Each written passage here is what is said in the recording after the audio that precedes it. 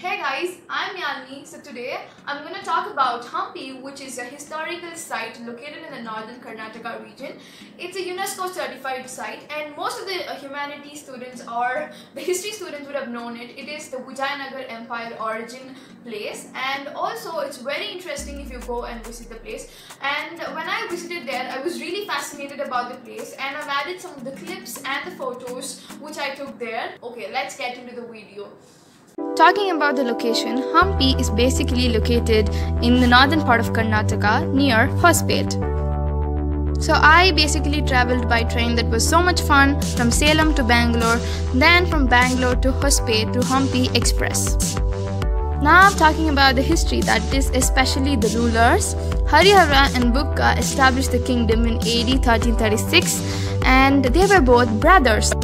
Now talking about the dynasties that ruled Hampi, they were Sangama, Saluva, Tuluva and Aravidu. Talking about architecture, Hampi has a spectacular architecture. There are no cementing used in these buildings and structures. And you can take a lot of amazing pictures during the sunset and the sunrise here. The Virupaksha temple is an important temple in Hampi and for its people. This was dedicated to Lord Shiva and Pampa Devi is the local goddess. It's built in the 7th century. You can see the temple here. And around the temple you can see a lot of structures which were said to be used for the religious purposes by the local people and then by the rulers. The royal enclosure. On those days, these were the grandeur structures, but now these are the ruins. These were the places where the kings and the minister used to debate. How fascinating! The tanks used here were innovative and they were used a special type of architecture too. You can see a lot of canals around the place which signifies water facility. Mahanavami Dibba. It is a large structure in which Dasara festival is celebrated and it's about 40 feet high and basically you can see how small I'm looking there. So Durga Puja is what we call in other places and this is a 9 day festival celebrated here. When we visit Hampi, Tungabhadra river is an essential one and the scenery is absolutely amazing and this river shares the tributary with the Krishna river. Whenever we come here, the scenery is absolutely beautiful and you can see the river running. So when we get into this kind of cave where we have to walk a bit and after that what we see is nothing but an amazing scenery and you can take very great pictures here. After walking a bit, you can come across this kind of structure. These were the bazaars. There were other structures such as Ugra Narasimha, this one. This structure got this name because it's said to be that this god is very angry.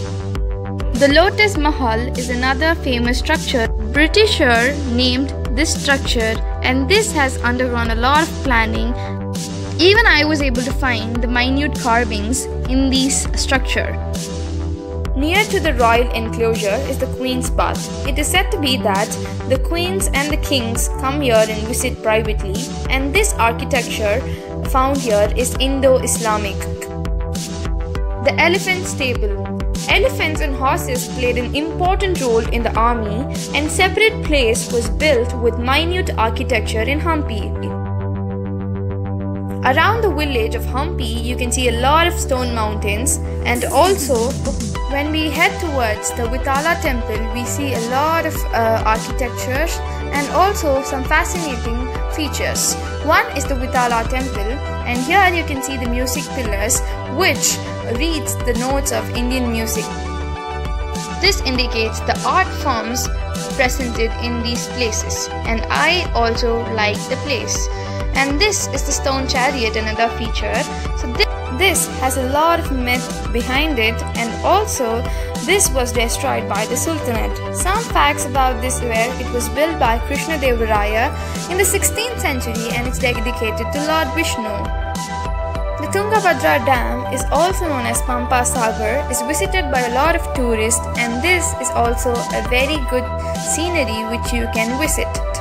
Talking about the sculptures, wherever you go, you can find these in the temple walls or in the ruins. and these are very great feature and this also tells the story that's what we call the stone tell the story and this is from the Mahanavami Dibba you can see the cavalry depicted here and also the life of the kings and the queens. In the museum you can find so many artifacts and also the miniature of the Virupaksha temple. And at last ending towards the video when i left it i felt very saddened by the thought that i'm going to leave this beautiful historical place and the scenery.